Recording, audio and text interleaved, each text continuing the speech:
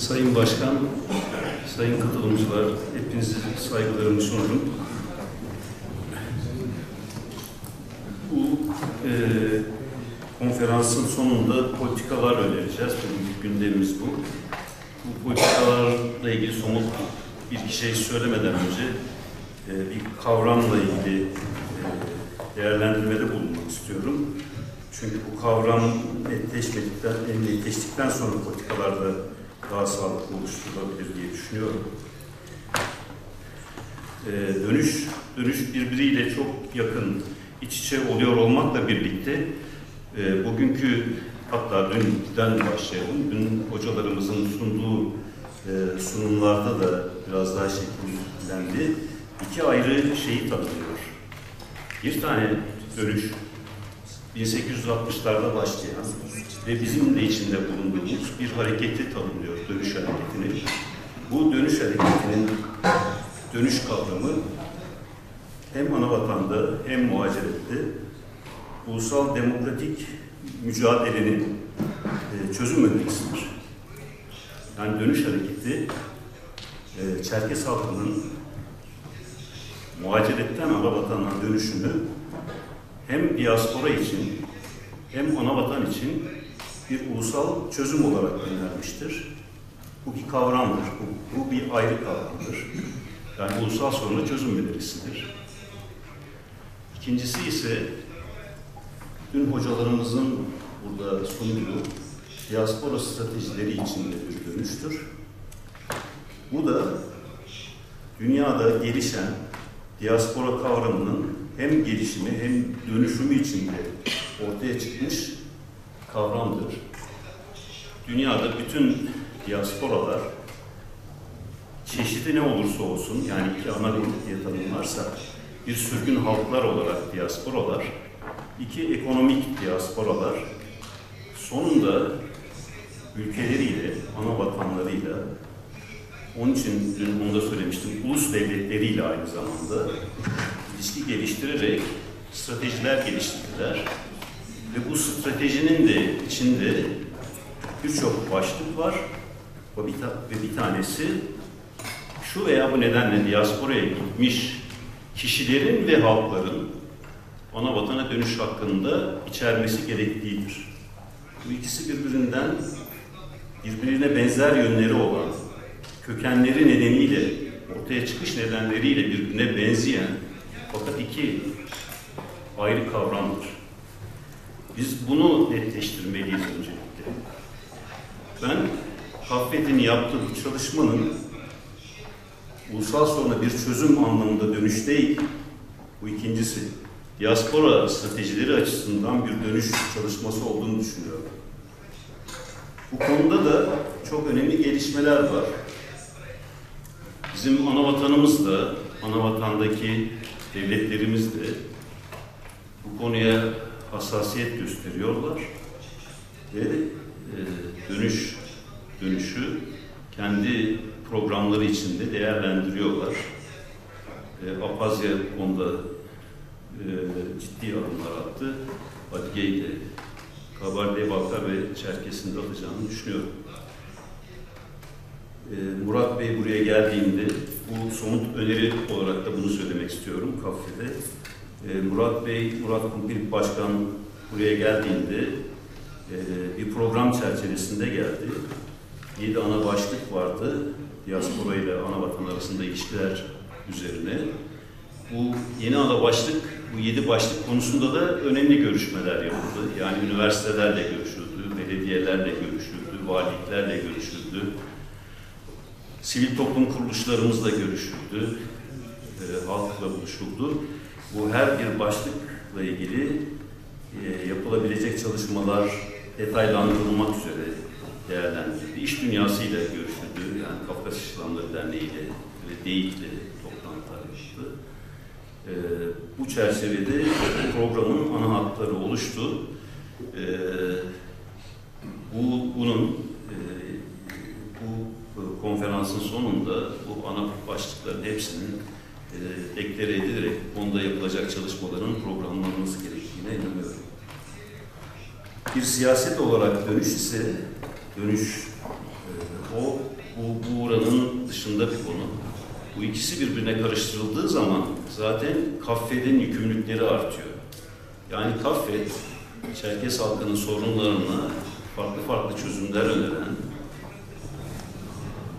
kitlenin, tabanımızın, halkımızın buluştuğu bir e, sivil toplum kuruluşu e, ve bu diaspora stratejileri içinde bir hak olarak, yani evrensel bir hak olarak da savunulan dönüş hakkını savunmakla ilgili çalışmaları yapmakta çok başarılı olabilir. E, ama Çerkez ulusal sorununa bir çözüm, bir siyasi hareket olarak dönüşü savunmak konusunda e, o konuda da çalışmalar olabilir elbette. Onu da organize edebilir ve fakat bunun yükümlülüğü kafede ait değildir. Böyle bir bu görüşte olan kişilerin, grupların, hareketlerin kendi çalışmalarını yapması gerekir diye düşünüyorum.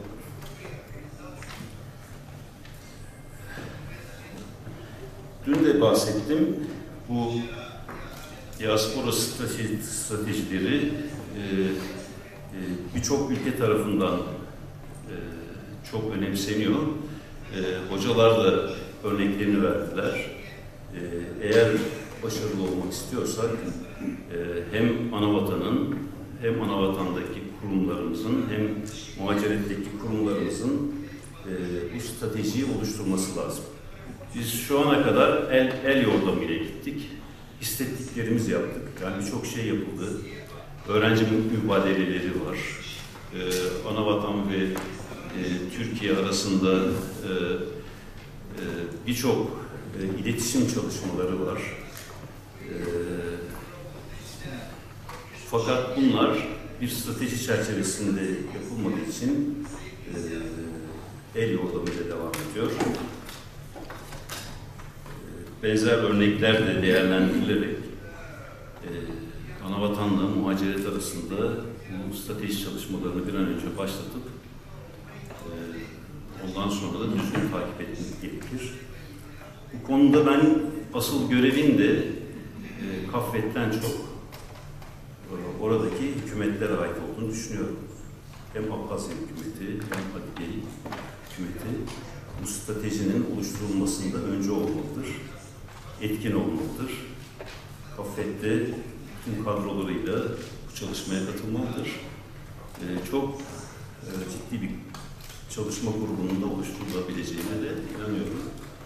Ee, çünkü Türkiye'de TOP'ta da yaptığımız toplantıda görüldü. Türkiye'de uluslararası ilişkiler alanında, e, ekonomi alanında, e, birçok alanda diyebiliriz aslında toplumu ilgilendiren birçok alanda çok ciddi bir yetişmiş kadroya sahibiz. Yüzün üzerinde doçent ve profesörümüz var değil mi? Bunların hepsi deneyimli insanlar. Ciddi siyasi kadrolarımız var. Ve toplumun ilgisi var.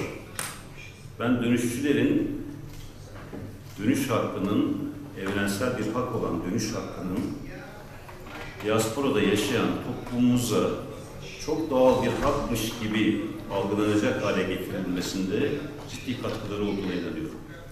Yani 68 hareketiyle başlayan, 78'de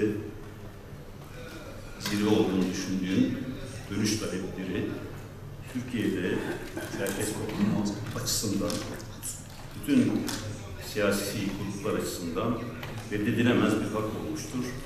Artık herkes dönüşe sahip oluyor. Bu çok ciddi bir başarıydı. Bundan sonra e, ana vatanla birlikte bu süreci geliştirmemiz, bir politikaya bağlamamız, politikayı da revize etmemiz, her yıl geliştirmemiz gerekmektedir.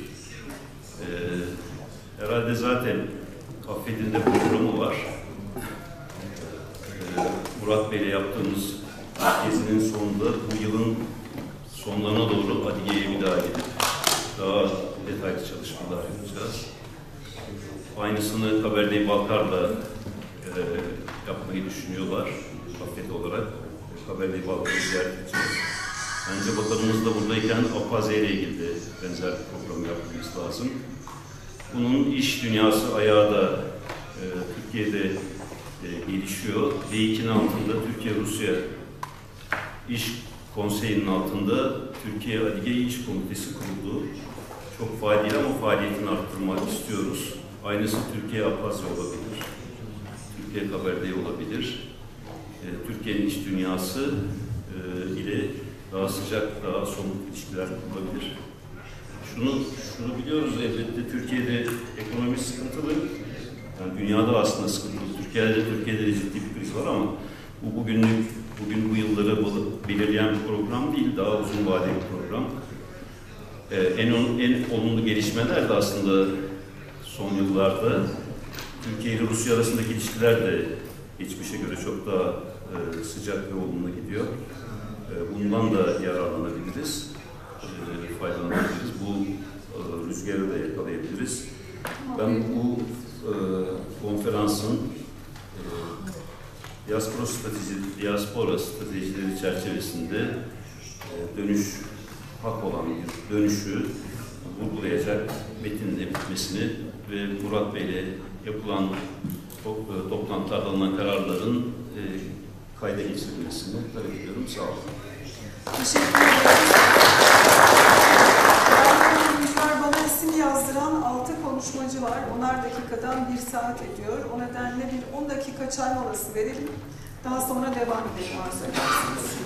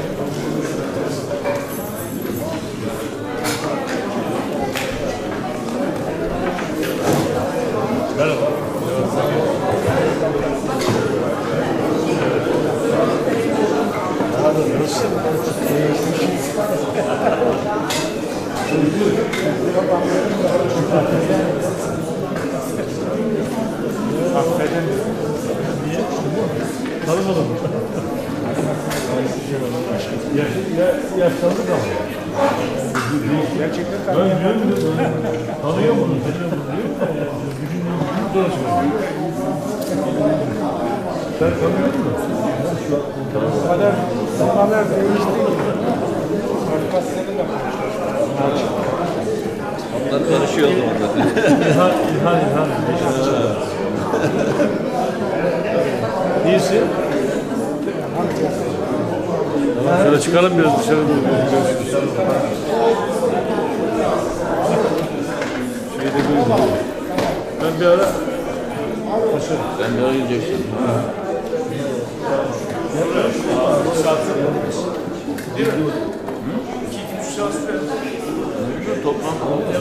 şey.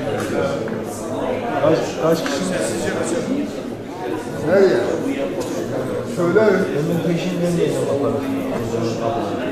Söyle. Yok.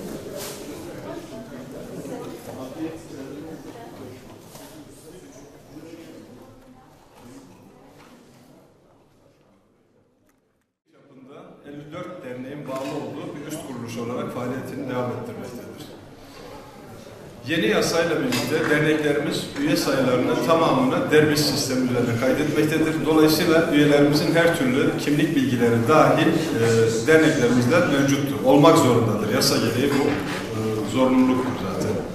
Dolayısıyla üye envanterimiz bütün derneklerin nezdinde var. Bunu Kaffet basit bir programla merkeze de çekebiliyor. Yani ancak Kaffet'in e, üyeleri derneklerde e, oluşmaktadır. Kişilerden değil. Yani Kaffet'in e, sorumlu olduğu kişiler derneklerdir. Türkiye'de derneklerle ilgili bir olay olduğunda veya derneklerimize bağlı üyelerimizle ilgili bir oluşum veya bir olumsuz bir olay ortaya çıktığında ilk önce buna bir dahil olması gereken ilgili derneklerimizdir. Derneğimiz tavrını koyacak, gerekli kısmını kendisi çözebiliyorsa çözecek, çözemiyorsa bunu kafede aktaracaktır. Kafet bundan sonra devreye girmesi gerekmektedir. Yani Samsun'da bizim derneğimiz, kafedin uzantısı Samsun Derneğimizdir. Yani Samsun Derneği'nin iki tane misyonu var. Hem Samsun Derneği hem de kafedin Samsun'daki şubesidir. O şekilde algılıyor.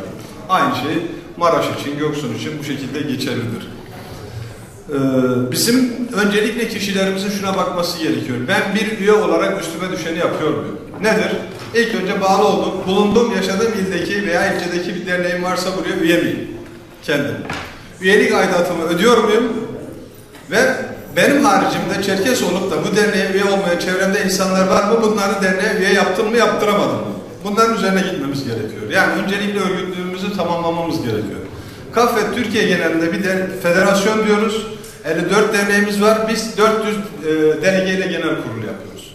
Bunun da üye delege sayısının e, kıyaslamasıyla basit bir formül yaparsak Türkiye genelinde şu anda kafede bağlı derneklerde 10 bin civarında bir üyemiz var. Yani bizim eğer ki maksimum şu andaki bütün derneklerimizin e, kafet yasasına, tüzüğüne göre e, en, şey, e, delege sayısı en fazla 25 olabiliyor. Bu şekilde düşünürsek 54 derneğimizin maksimuma ulaşması için 1375 delege ile biz genel kurul yaparsak derneklerimizin tamamı e, üst limit üzerinden üyeyi tamamlamış olacaktır. Yani bunu tamamlayabilmemiz gerekiyor öncelikle.